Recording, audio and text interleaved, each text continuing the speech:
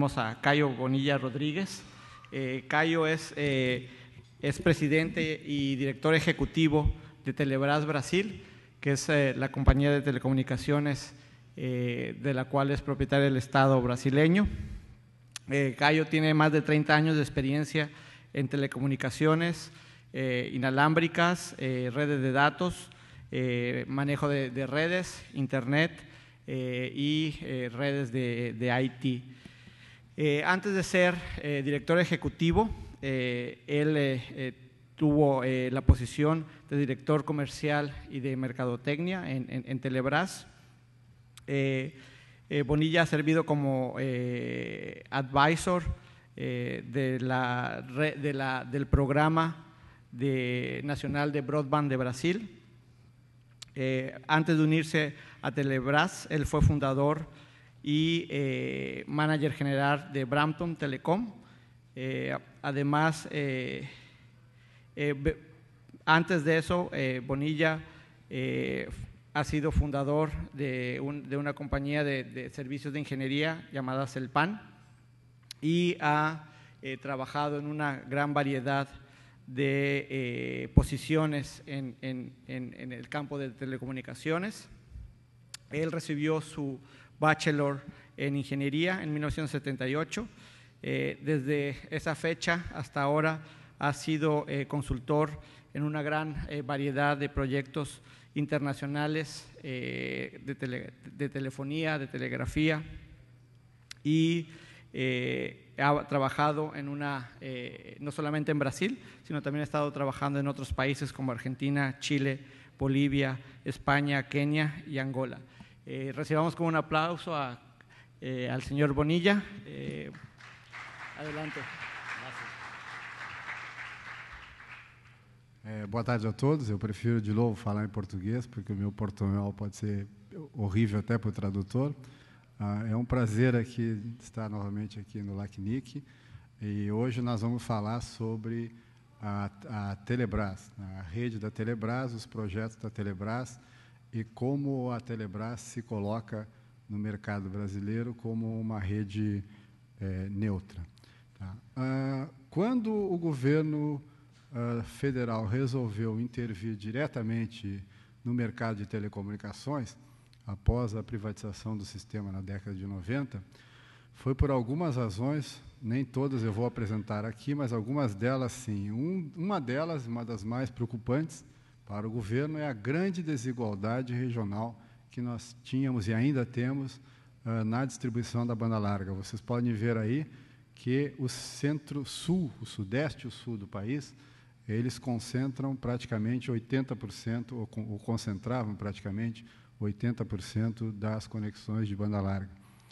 Uma outra questão é a grande, que foi aqui inclusive abordada no nosso debate, era a grande eh, concentração de mercado, ou seja, quatro empresas, cinco empresas controlavam, ah, segundo estatísticas oficiais, em, em 2010, 2011, aproximadamente 98% do mercado. Hoje já não é assim.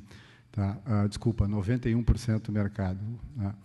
Ah, hoje, nós tínhamos em 2011 2.328 provedores pequenos, que tinham 9% do mercado.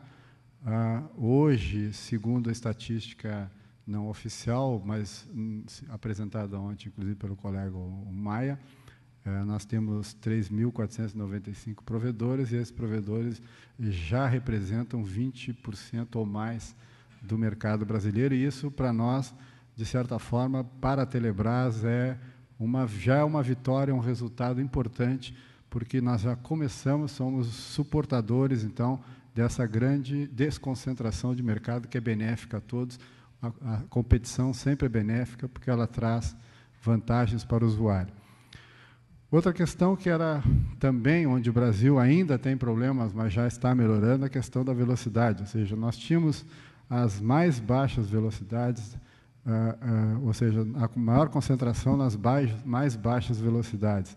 Tá? Até 2 megabits, praticamente, nós tínhamos 62% das nossas conexões. Tá? E isso é, é, também é um fator de é, era um fator é, era e é um fator de preocupação para o, o governo federal. Tá? Outra questão, mas aí já pensando para frente, é o grande aumento da demanda de vídeo. Né? Ou seja, nós temos já aí uma previsão de crescimento que é, é, é palpável para vocês que estão na internet, no ramo da internet, que é a, a, demanda, é, um crescimento exponencial de vídeo, e isso a pergunta é: temos rede para suportar essa demanda? Então, essa foi uma outra preocupação do governo federal é, com relação a como vamos, então, do ponto de vista de infraestrutura de telecomunicações, ter condições de suportar essa demanda. Tá? E por, por último, mas não, quer dizer, na última análise aqui, mas não por último, né, é a visão, que já é uma realidade, não era, mas já é, de que hoje nós já temos um tráfego de vídeo maior que os outros tráfegos somados da, da internet. Tá? Então, essa e isso também, um tráfego de vídeo, um streaming, normalmente ele ah, não pode sofrer grandes atrasos, e isso requer, então, uma, grande, uma melhor qualidade ah, de conexão. Tá? Com isso, a partir de 2008, o governo federal começou a estudar uma maneira de intervir diretamente no mercado e criou, então, o Programa Nacional de Banda Larga e, através de um decreto presidencial, e esse programa, então, trazia como uma das suas eh, principais ações a reativação da Telebrás, a Telebrás que era a holding das empresas, de, as operadoras de telecomunicação do Brasil na década de 90.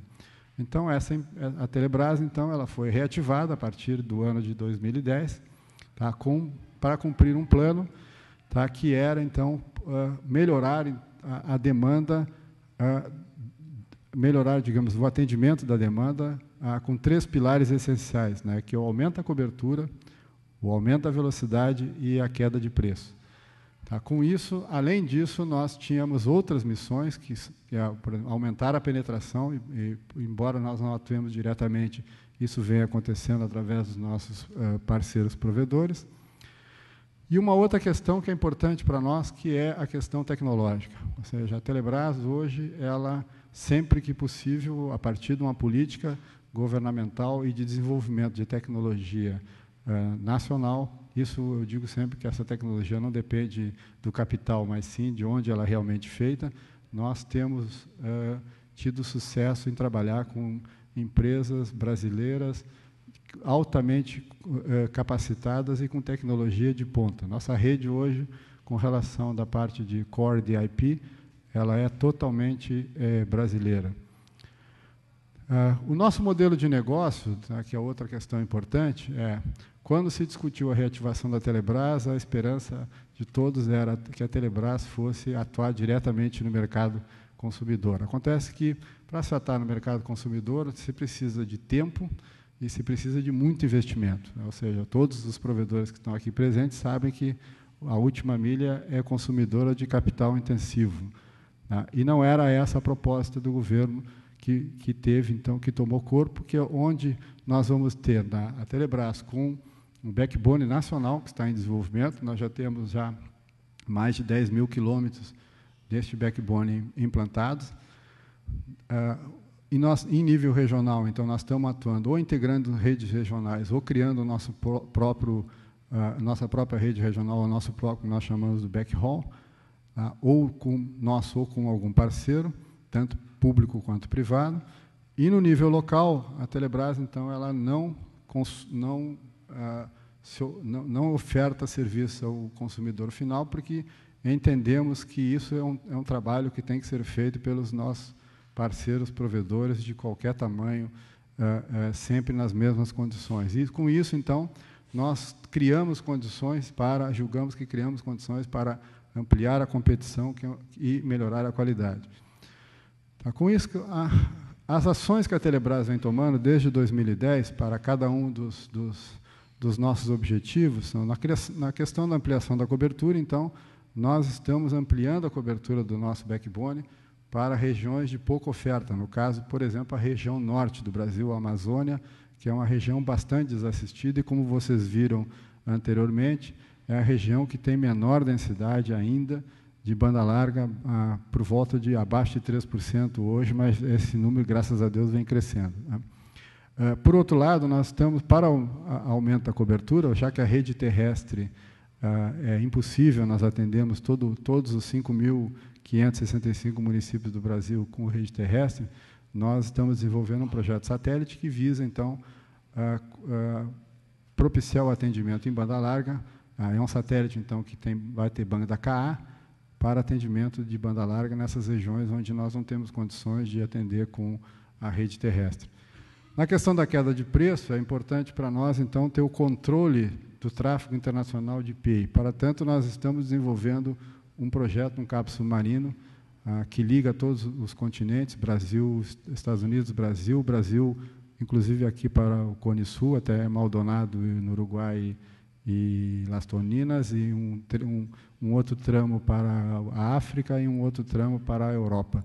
Com isso, então, nós esperamos então ter um melhor equilíbrio de tráfego internacional para e de, e, para o Brasil. Né? E também estamos desenvolvendo, aí já uma preocupação eu falei anteriormente com a questão da, do, aumento, da, da, do aumento exponencial do consumo, nós estamos hoje com, desenvolvendo uma, re, uma rede terrestre de altíssima capacidade, a rede da Telebrás hoje já começa equipada com 40 lâmpadas de, de 40 gigabits e já estamos em testes, então, para ter 40 lambdas de 100 gigabits. Tá?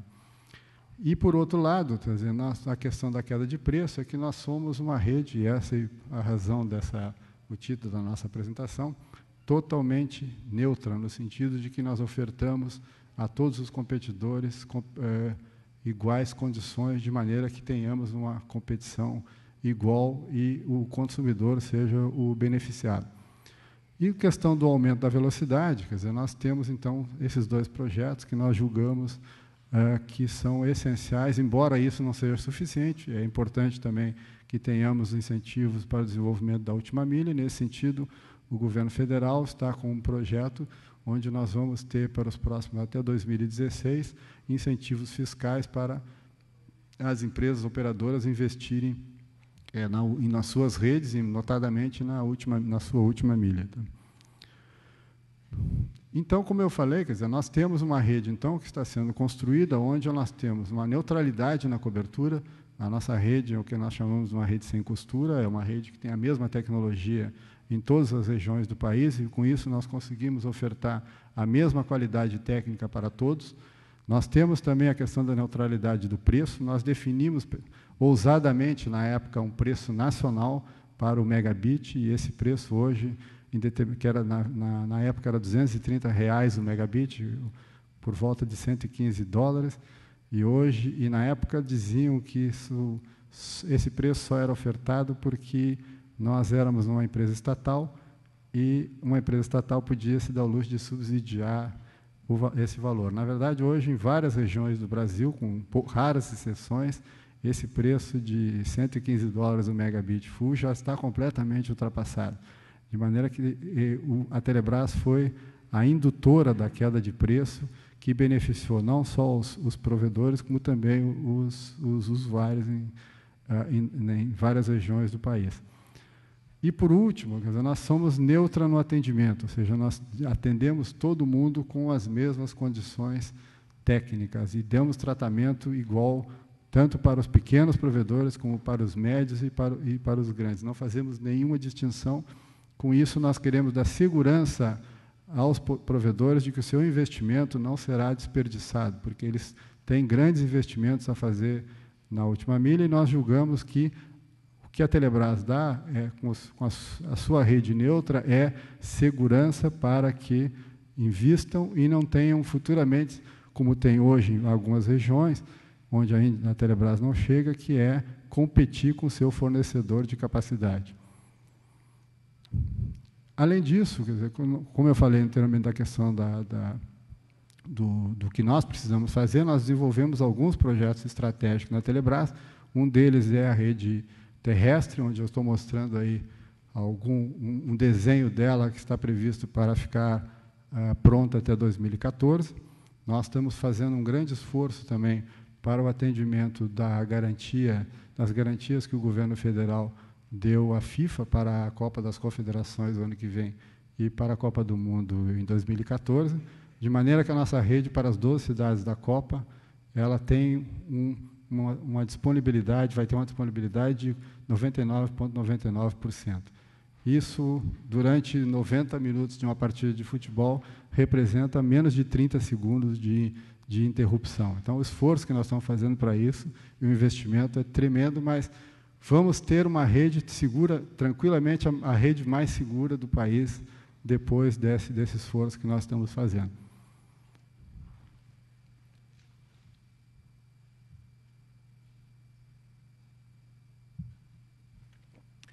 Outra, um outro trabalho que nós consideramos que é estratégico é a interligação com os países sul-americanos, que foi ontem debatido aqui num painel da qual eu participei.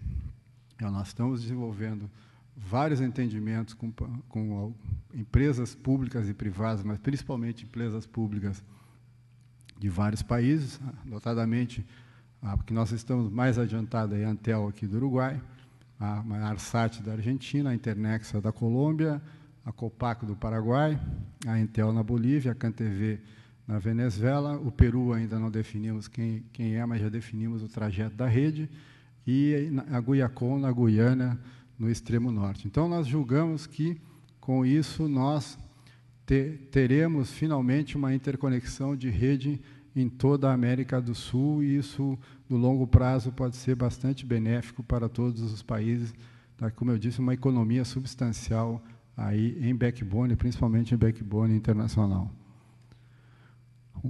Outro projeto que eu estou aqui, que é esse projeto que nós estamos fazendo, oh, desculpa, do cabo submarino, esse é um cabo submarino, então, onde nós já temos parcerias assinadas com empresas de, da África, aqui da América Latina, uh, e estamos agora em, em os ajustes finais para lançar esse projeto até o final uh, deste ano. Então, é um projeto bastante grande, onde, então, que visa, do ponto de vista estratégico, da Telebrás e seus parceiros, a independência na, na internet banda larga. Com isso, nós podemos atender os objetivos do Programa Nacional de Banda Larga, que é em 2014 nós temos um mínimo de 4 megabits ou 5 megabits tá, por, é, por é, domicílio. Essa, esse é o objetivo do governo e para nós perseguirmos esse objetivo, isso com um preço abaixo de 20 dólares para o consumidor final, nós precisamos ter o controle e o domínio, então, do preço da banda larga da,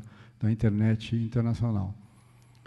Então, com isso, em 2014, nós pretendemos, quer dizer, o, o, projeto da Telebrás complementado com o projeto satélite, então vai ter uma cobertura de qualquer forma cobrir todo o país e boa parte da América Latina também.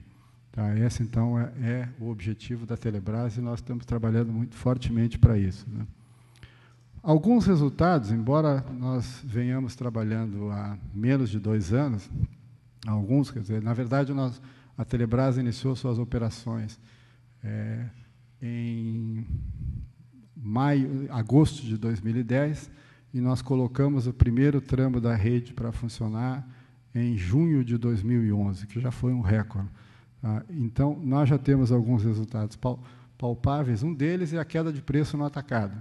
Quer dizer, onde a Telebrás começou a atuar, a queda de preço no atacado foi bastante sensível. Em algumas regiões chegou até 80% de queda de preço, ou seja, tinha bastante gordura para queimar. Tá? Essa talvez esse tenha sido um dos grandes benefícios, já não só antes da própria implementação da rede, mas também dos anúncios do, por onde a, a Telebrás ia passar a sua rede. Uma outra questão é que que bastante importante para nós é que a velocidade, vocês podem ver aí que ela aumentou sub, substancialmente.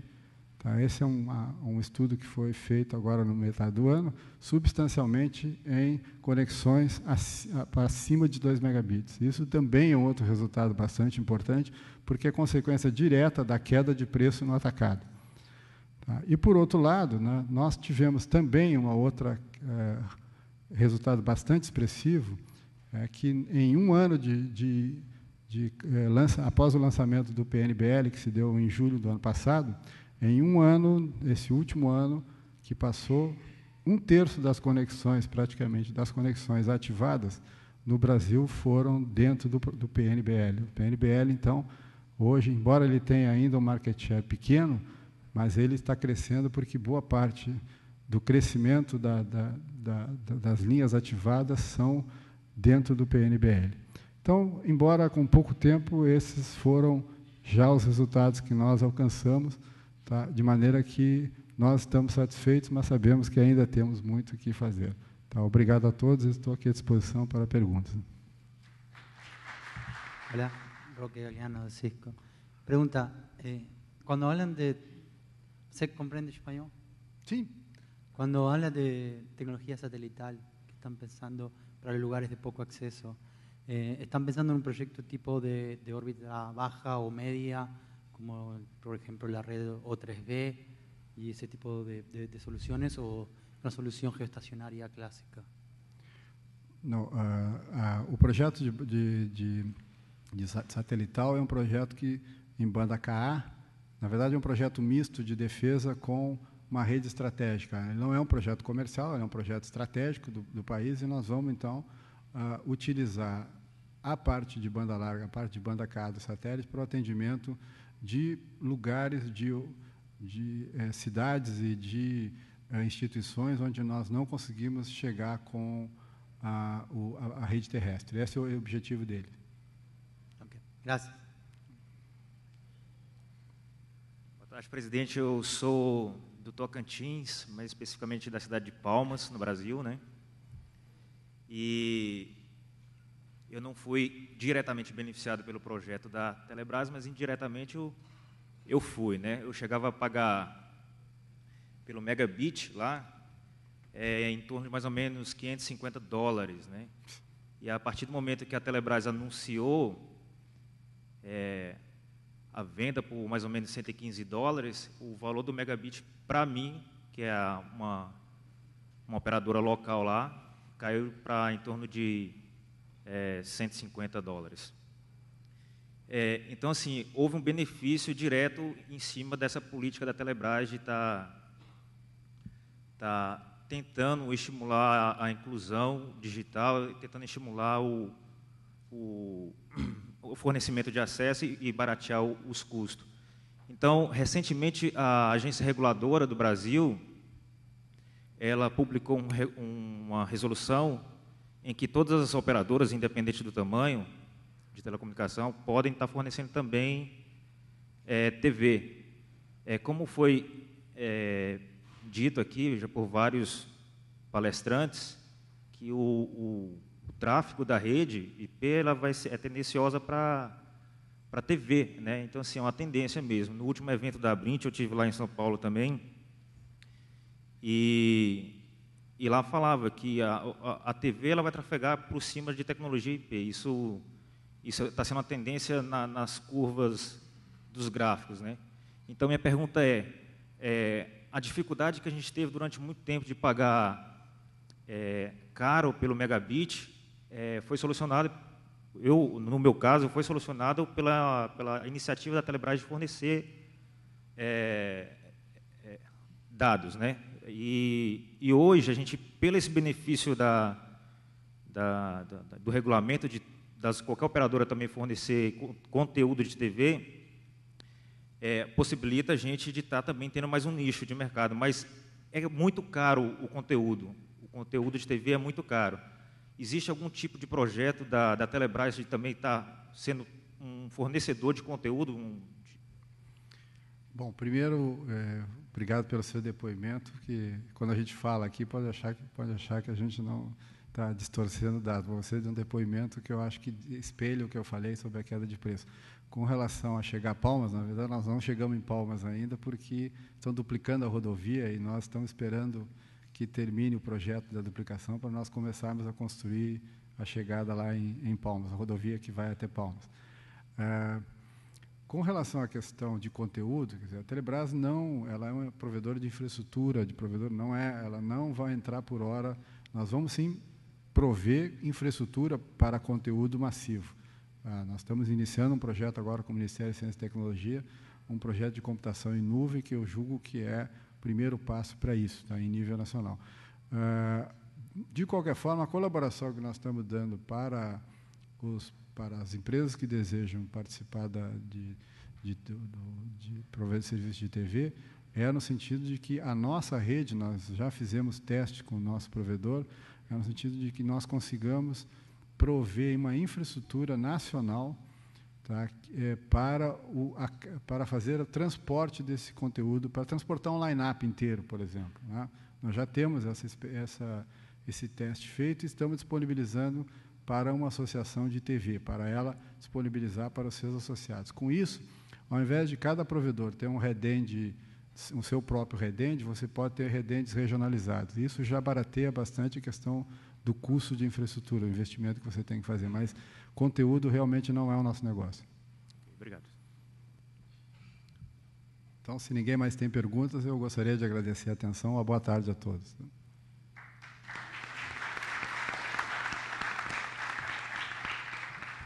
Bueno, a nombre del ACNIC agradecemos mucho a Cayo Bonilla por su presencia. Sabemos que tiene una agenda muy, muy ocupada y bueno, agradecemos que se haya tomado el tiempo de visitarnos hoy en Montevideo. Y bueno, muchas gracias por la charla. Este, obrigado.